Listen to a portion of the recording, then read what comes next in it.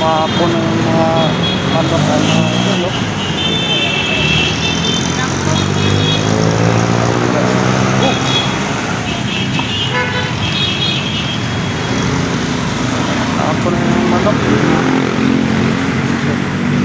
Babahay na lang, oh.